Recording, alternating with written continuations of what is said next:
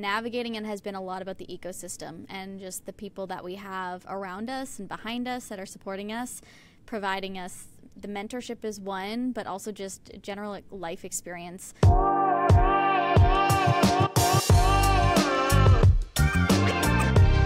Bronwyn, I once heard you talk about navigating the unknown.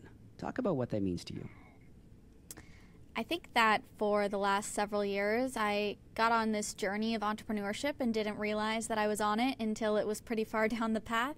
And uh, it's been a lot of unknowns everything from my academic career, what I was going to do with my future, into starting a startup without realizing it.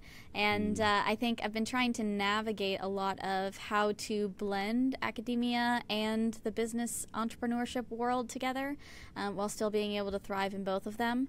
It's taken a team, so there's been a lot of unknowns of how do we get paid and how are we going to stay oh, yeah. afloat or you know when am i going to graduate i think those are all still very unknown questions to us but I think that navigating it has been a lot about the ecosystem and just the people that we have around us and behind us that are supporting us, providing us the mentorship is one, but also just general life experience. People who have been through it. I've met past founders who were students at the time and how they managed to navigate it. But I also think I've just been able to better understand myself and what brings me joy, and that it's not always about maybe the long term goal, but really how we can day to day bring ourselves joy in what we're doing. And I've been able to do that by blending those two worlds a little bit together. How do you deal with the stress associated with it all? Because so many people, so many entrepreneurs I talk to, it's such an isolating experience. And I can I can talk from experience like so many times over the last couple of decades. I just said to myself that's it. I'm done. I'm throwing in the towel. And I don't know if it's stubbornness. I don't know if it's just that it I don't want to work for somebody else. I don't know what it is. But there was something inside of me that said you know keep pushing. But at the same time it can get stressful so how do you deal with that I think the passion is definitely the reason that I haven't quit, and I'm also stubborn, so maybe that's why. and I, you know, refuse to to give up. I'll go down fighting. But I think, Mm, yeah, dealing with the stress, I've done a few different ways. I mean, I definitely overwork myself, and I don't think that's a healthy thing. I think there needs to be that balance.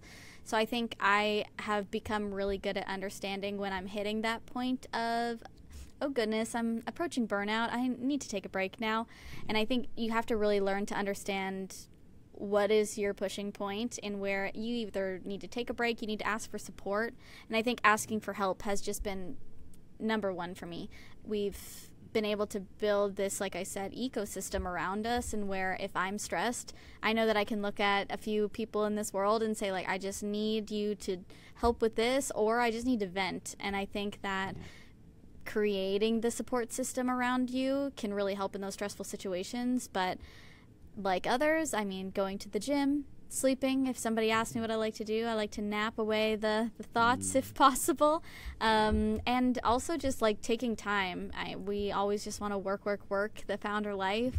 But I've learned to take breaks and ask for help. And I think that's been how I've been able to manage the stress and, and know that there will be up and down days. And probably a lot more down than up, but mm. uh, those just knowing that there's an up day coming can sometimes help push through those stressful times.